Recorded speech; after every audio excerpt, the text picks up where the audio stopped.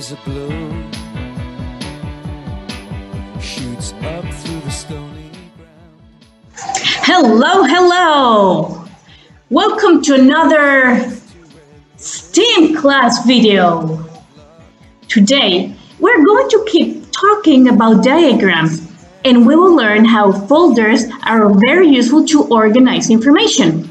And we will also develop a very useful skill. Are you ready to start? Let's go! Hello again. Before we start, let's take a look into the IB profile attributes. Which one do you think that we'll be using today? Inquire, risk taker, caring? Hmm, which one will it be? Well, today's video wants to invite you to be confident in trying new things. So it's an IB attribute that starts with the letter R. Which one could it be? Yes, risk taker. So be confident in trying new things and don't be afraid. So we're going to focus on the T of STEAM that stands for technology because we're going to develop very useful skills for copy, cutting, and pasting. But before we start, let's remember what we talked about last class.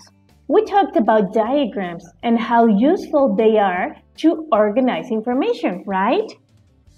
And we talked about types of different types of diagrams, like the hierarchical diagram, the mind map, and the Venn diagram. All of them very useful to classify information. Because remember, diagrams give us the chance to classify information by colors, by shapes, by the purpose, by size, by many ways.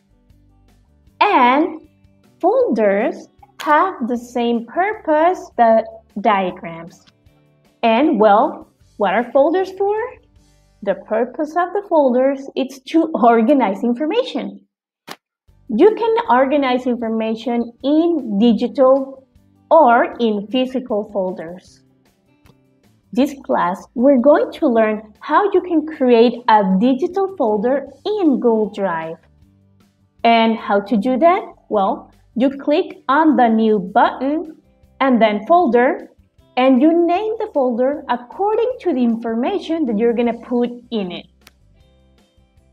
And if you're using an iPad, this is the way to create a folder.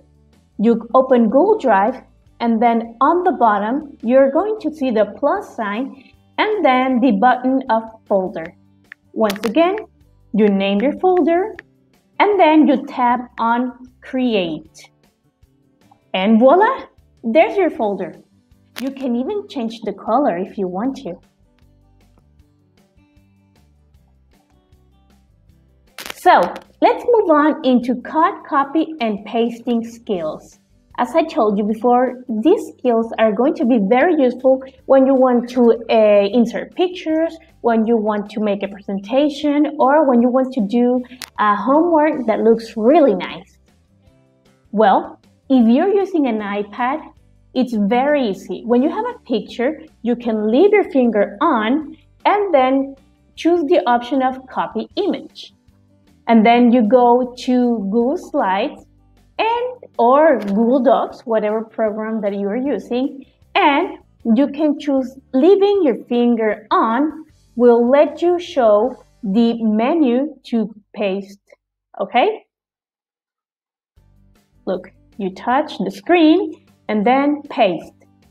And voila, there's your picture. If you're using a computer, I'll show you. It's very easy. You can use the right, you can, you need to select the picture and then with the right button of the mouse, you can cut, copy or paste. So we're going to copy or you can go up here to the option that says editar, as you can see on this option, editar, and then copy, cut, or paste. So I click on paste and voila! I have a copy of my picture. So right button, cut, right button, paste. You can even use the shortcuts of Control V and you will get different uh, copies of your picture. So it's time to put your hands on. Today's activity is easy peasy lemon squeezy. And what are you going to do? Well, in Google Classroom, you will notice that I share a Google Slides that says cut, copy, and paste. And which is your task? Your task will be to organize the pictures into the corresponding folders. So if you're using an iPad, make sure to tab over the picture that you want to move and then choose the option of cut and then look for the folder where that picture belongs to. So this is the folder of clothing, so the shirt should go there, right? And then you go back to the second slide and do the same process with the rest of the pictures.